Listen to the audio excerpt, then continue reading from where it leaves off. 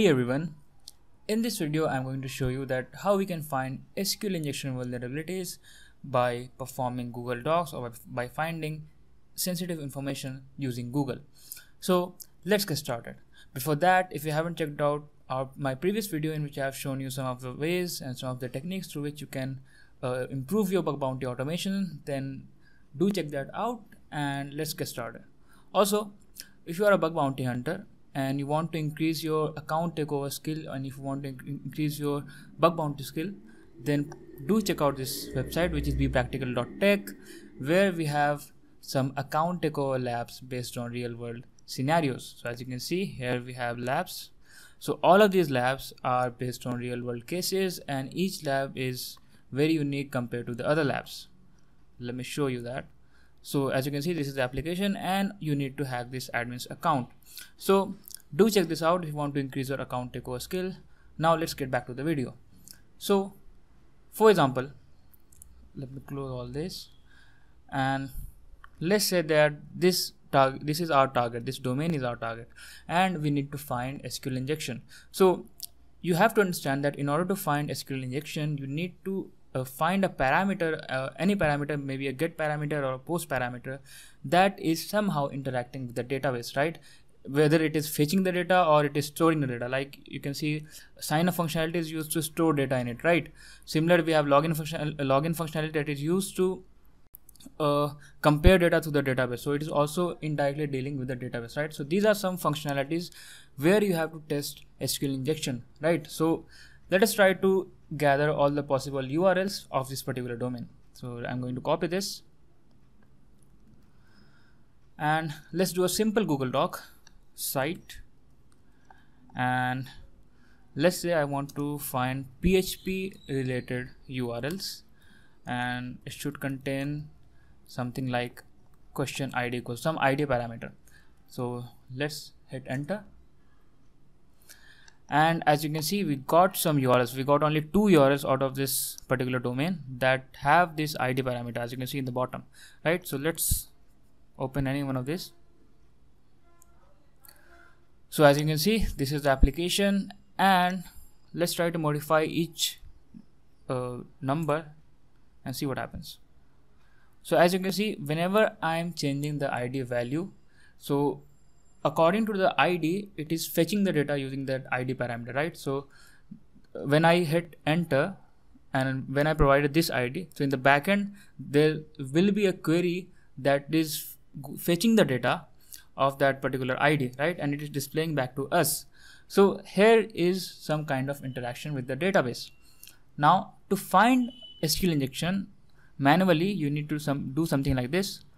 Simply you have to put a single quote or a double quote and see how the, how the web application behaves. So let me provide one. So as you can see, if I provided a single quote, then the data gets changed, right?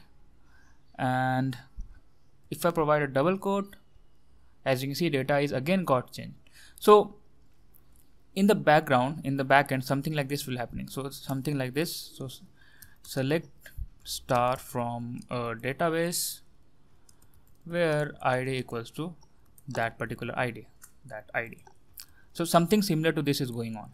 So what we need to do is we need to break out of this id parameter. So if i do something like this and type something like this let's say. So as you can see it is again showing me the data. So this is not how the uh, application is working. So we need to tweak it some more. So let me show you what i mean by that. So think what will happen that instead of this query and here we can provide our this id parameter. So this id parameter is getting in this query. Now let's say there is a query select star from database where id equals to and we provided that id so 4 uh, 7 5 7 2 right? And what if i supply more than just id like if i supply something like this and sleep 5 so sleep is an inbuilt function of mysql which uh, sleeps which temporarily stop the database for the given amount of seconds. So if i type this and if it get executed then something like this will happen. So this and this and keyword will execute this query as well as this query so if it is vulnerable then our uh, this website will sleep for 5 seconds. Let's see.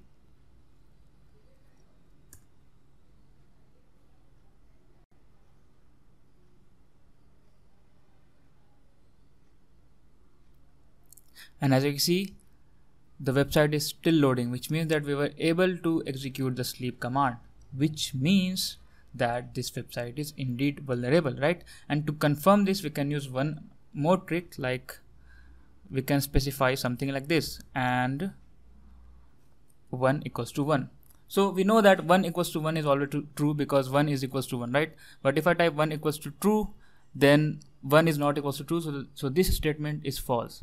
So if I type something like this 1 equals to 1 and see what happens. As you can see we successfully got the data because this query and this query successfully executed because this query in the backend also returned true so that it the backend understand that okay this query has been executed successfully and this query after and is also executed. So because both of these are uh, returning and uh, returning true therefore we get the data as we expected. But if i type something like this over here 1 equals to true which we know is false then as you can see the data got completely changed which means that it is not executed. So from here we can also confirm that our sql injection is indeed working right? So this is the way to identify an sql injection in any web application. So i hope you have understood that how we can find and how we can identify sql injection. If you have any doubts if you have any issues then please let me know in the comment section. Thanks for watching